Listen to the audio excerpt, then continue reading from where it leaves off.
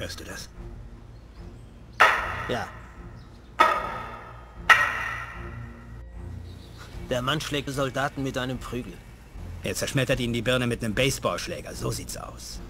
Ich frag dich jetzt ein letztes Mal und wenn du dich dann immer noch ergebenst weigerst, dann schnappt er sich seinen fetten Schläger und donnert damit so lange auf dich ein, bis du tot bist. Leck mich!